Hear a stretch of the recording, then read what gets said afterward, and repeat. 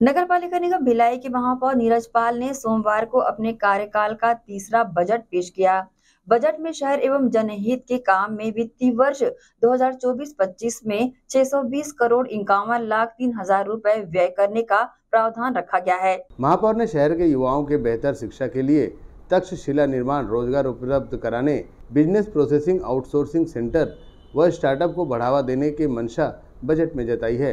इसके अलावा महिला सशक्तिकरण, स्वास्थ्य सुविधाएँ, सड़कों का विकास व सौंदर्यीकरण, मांगलिक भवन, शिक्षा, खेल, वृक्षारोपण, जल संसाधन, स्वच्छता व्यवस्था आदि के लिए भी बजट में राशि प्रावधानित की गई है। वहीं बजट वाचन के बाद नेता प्रतिपक्ष भोजराज सिन्हा ने सभी पार्षदों से उनकी भावनाओं को आमंत्रित कर सदन में विस्तृत चर्चा करने की मांग रखी। महापौर ने कहा कि बिना किसी तैयारी के पार्षदों से आने वाले सवाल का तत्काल जवाब दिया जाना संभव नहीं है। लिहाजा सभापति ने पार्षदों को लिखित में सवाल देने के साथ ही जवाब के लिए आगामी सात मार्च तक के लिए सामान्य सभा को स्थगित कर दिया। सदन के समक्ष रखा है इस कार्यकाल का।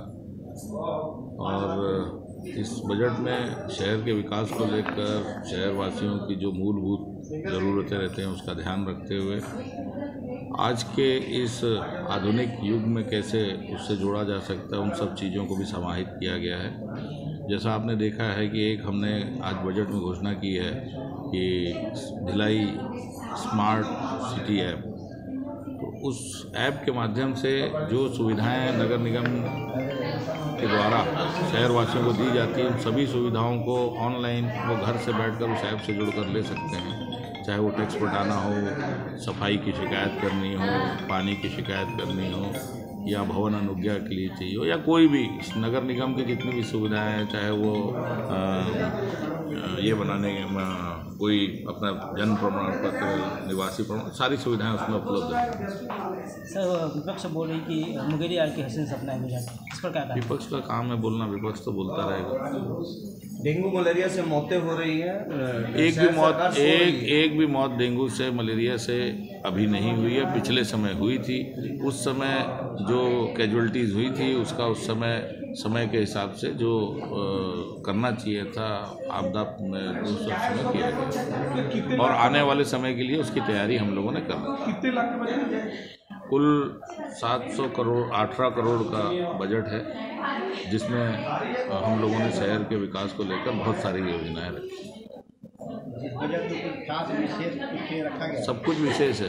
विशेष जो नहीं था उसको हमने रखा ही नहीं। सारी चीज़ें विशेष इस शहर के लिए खास है तभी इस बजट में। देखिए आज बजट पेश नहीं हुआ है। बजट को महापौर जी के द्वारा आज बजट भाषण अभिभाषण पढ़ा गया है। अभी महापौर जी के द्वारा सात सौ अट्ठारह करोड़ इकचालीस लाख तिरानवे हज़ार के विरुद्ध में 620 करोड़ रुपए के खर्चे का अनुमानित बजट पड़ा गया, जिसमें संतानवे करोड़ रुपए का, लगभग संतानवे करोड़ नब्बे लाख नब्बे हज़ार रुपये का लाभ का बजट पेश किया गया है। महापौर जी के द्वारा पूर्व में भी वास्तविकता से बहुत दूर और आंकड़ों की माया जाल वाला बजट पेश किया गया था। 2022-23 के पहले बजट में 712 करोड़ रुपए का इनके द्वारा एक बजट भाषण पढ़ा जाता है और जब 23-24 में वास्तविकता की ओर आते हैं। वास्तविकता की ओर आते हैं तो वो 403 करोड़ रुपए का बजट होता है। 310 करोड़ रुपए का अनुमान लगाना एक महापौर जी के अभिभाषण में, निश्चित कि शहर के साथ में एक आंकड़ों का खेल है। उसी स्तर पे 2023-24 के भाषण में भी, अभिभाषण में भी उनके द्वारा छः सौ पचासी करोड़ रुपए का पढ़ा जाता है। और जब वास्तविक बजट पेश किया जाता है। वास्तविक जब आता है तो लगभग दो सौ छप्पन करोड़ रुपए का अनुमानित और वास्तविक में अंतर आ रहा है।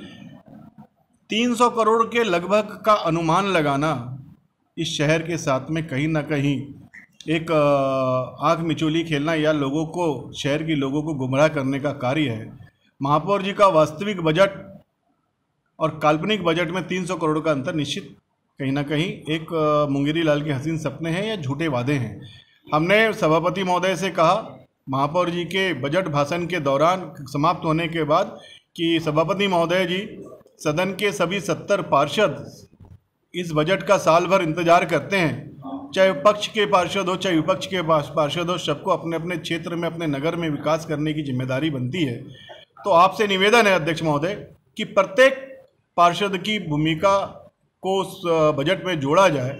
उनके प्रस्ताव को जोड़ा जाए, शहर के विकास को लेकर के सभी पार्षद सोचते हैं कि मेरा शहर कैसा हो, इसको लेकर के सभी पार्षद की एक अपनी भूमिका होती है, उन, उन्हें सुना जाए, वार्ड के विकास को लेकर सुना जाए, जिस पर सभापति महोदय जी ने आज बजट अभिभाषण के बाद बजट बजट की बैठक को स्थगित कर पुनः सात तारीख को एक बजे बैठक रखी गई है, जिसमें सभी पार्षद अपने प्रश्नकाल से लेकर के अपने प्रश्न, अपने प्रस्ताव उस बजट में जुड़वा जोड़ सकेंगे और एक निश्चित कहीं ना कहीं विपक्ष की भूमिका रहेगी, विपक्ष का सहयोग रहेगा कि शहर का विकास हो और विष्णुदेव साय जी की सरकार के, प्रदेश सरकार के नेतृत्व में नगर निगम की सरकार को विकास के लिए जो भी हो सके, केंद्रीय योजनाओं के और राज्य के और नगर निगम के जो भी पारदर्शिता के साथ में विकास होगा तो निश्चित पूरे पार्षद एक साथ मिल के काम करेंगे।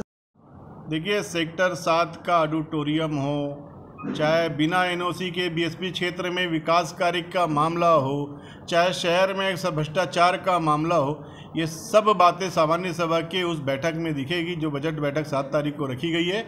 उसमें पूरी चर्चा उसमें सभी पार्षदों के द्वारा की जाएगी और वास्तविकता का बजट प्रस्तुत करने की मांग हमारे द्वारा विपक्ष के द्वारा की जाएगी। महापौर नीरज पाल के द्वारा पेश किए गए अपने कार्यकाल के तीसरे बजट पर नेता प्रतिपक्ष भोजराज सिन्हा ने कहा कि बजट सभी पार्षदों के अनुरूप होना चाहिए, जिसे लेकर आगामी सात मार्च को सभी पार्षदों के बीच बजट को लेकर चर्चा रखी गई है। एसीएन न्यूज़ के लिए भिलाई से संतोष शर्मा की रिपोर्ट।